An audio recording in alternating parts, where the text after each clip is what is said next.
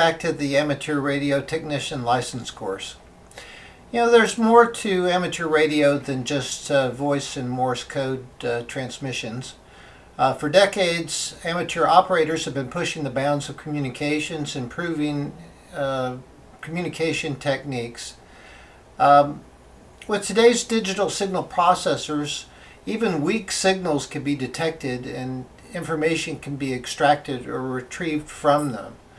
Um, inexpensive computers and microcontrollers can be used to communicate over great distances uh, using as little as uh, one one hundredth of a watt of uh, power using digital modes.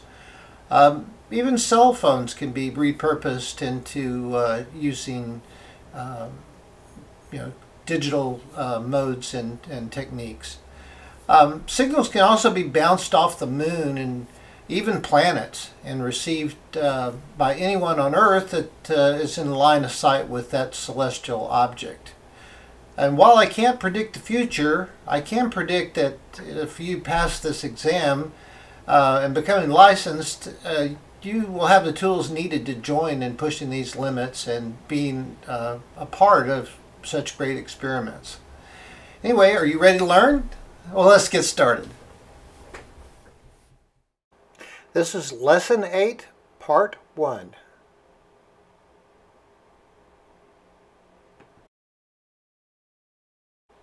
I'm Gary Stevens, KE2GS, your instructor.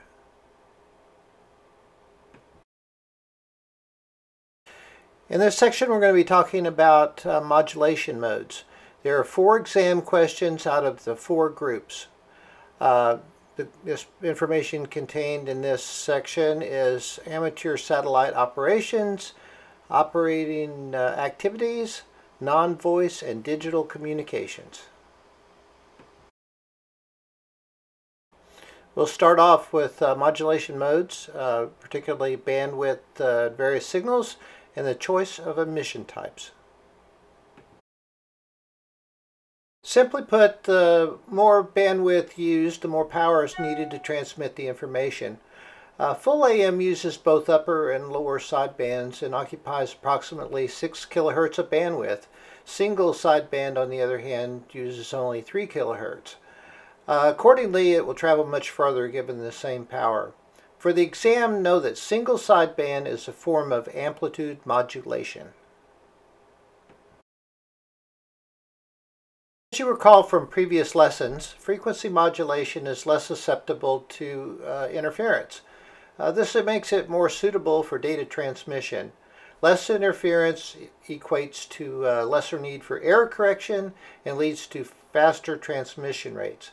For the exam, understand that FM is a type of modulation most commonly used for VHF packet radio transmissions.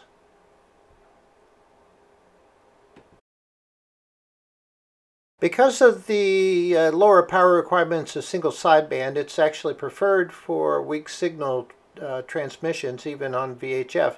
Uh, this slide shows that uh, you can get a great distance using as little as uh, 10 milliwatts. Uh, for the exam, know that single sideband is a type of voice mode most often used for long distance or weak signal contacts on VHF and UHF bands.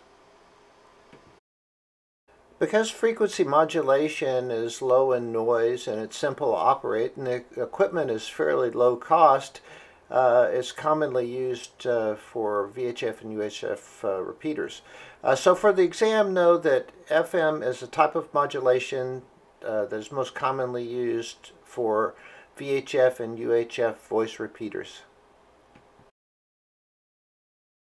As you can see by this illustration, the the CW or Morse code bandwidth is uh, 150 hertz uh, compared to uh, 2400 hertz for voice, so it's, it's substantially narrower.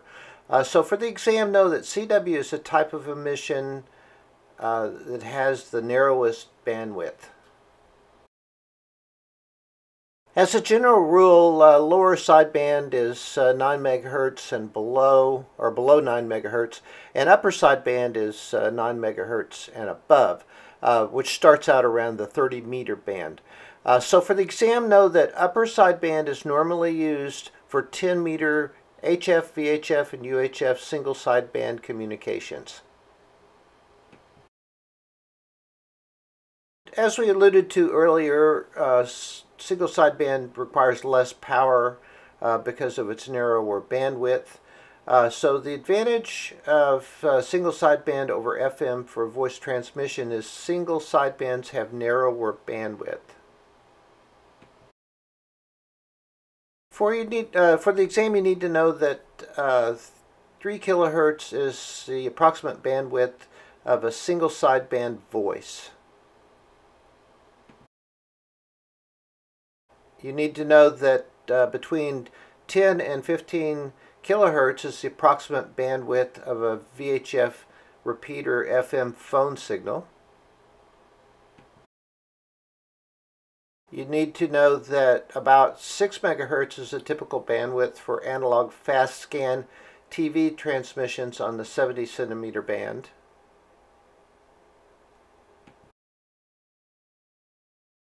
And again, for the uh, exam, you need to know that 150 hertz is the approximate maximum bandwidth required to transmit a CW signal or Morse code.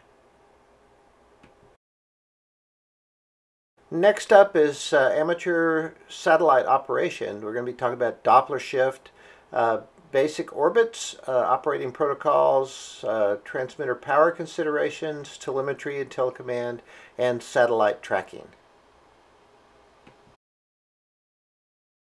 Since it's not uh, convenient to just pop by and inspect a satellite in orbit, uh, you know, we uh, they're designed to uh, translate or transmit the uh, information with telemetry.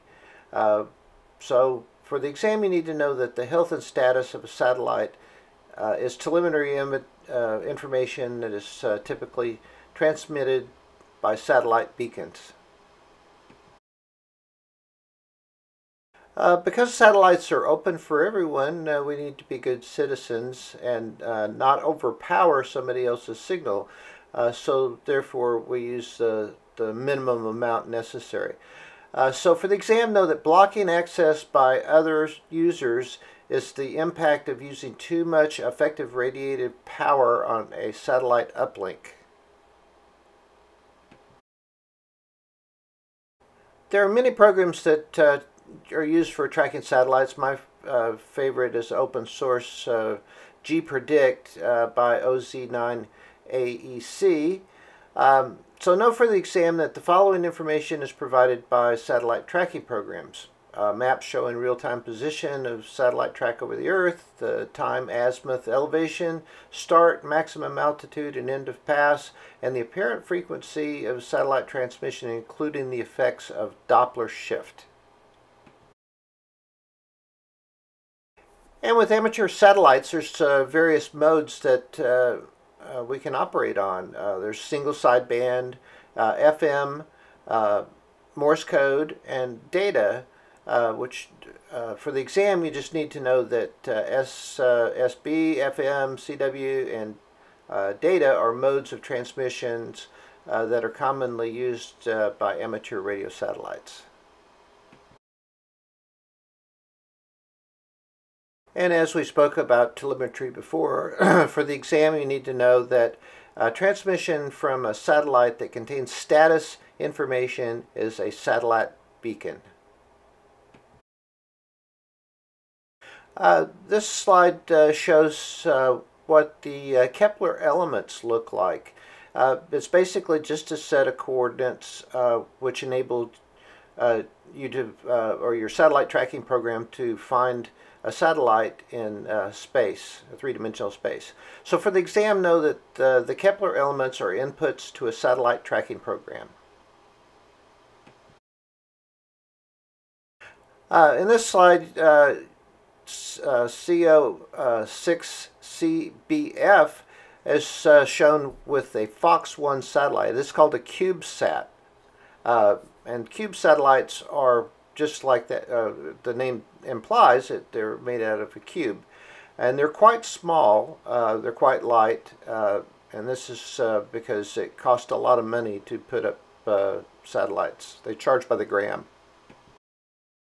Many of us have sat at a train track and listened to a train go by, and uh, there's a higher pitch sound when it's approaching, and it's lower when it's uh, after it's passed.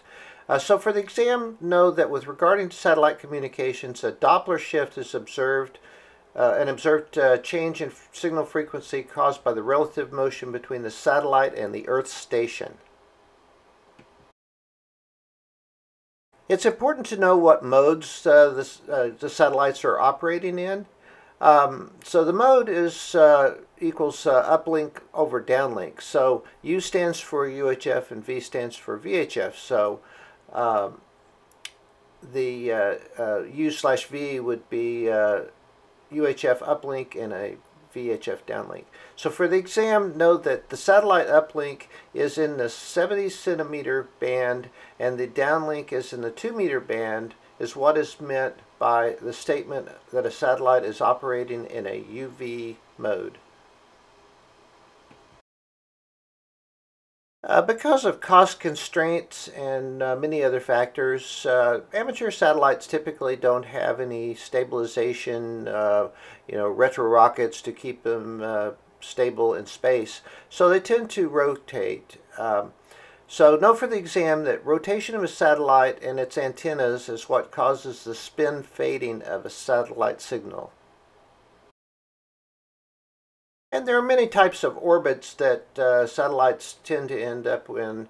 Uh, however, most typically, uh, low Earth orbit, or LEO, or LEO, uh, is where um, amateur radio uh, satellites end up because of the cost to get them to a particular orbit. So for the exam, just know that the initials LEO tell you that the satellite is in low Earth orbit.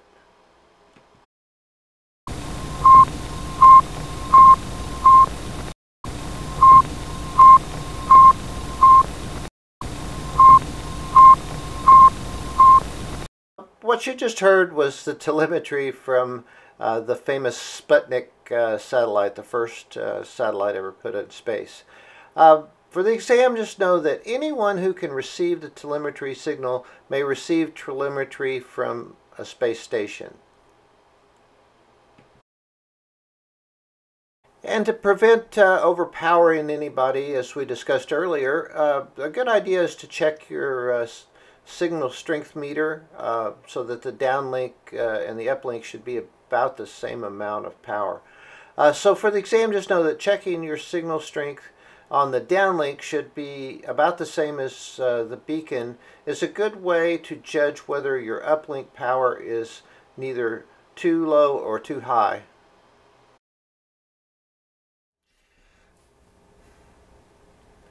Well, I hope you've enjoyed this lesson. Be sure to click on the red button below if, and uh, subscribe to my channel. Uh, your support is greatly appreciated. Until next time, never stop learning.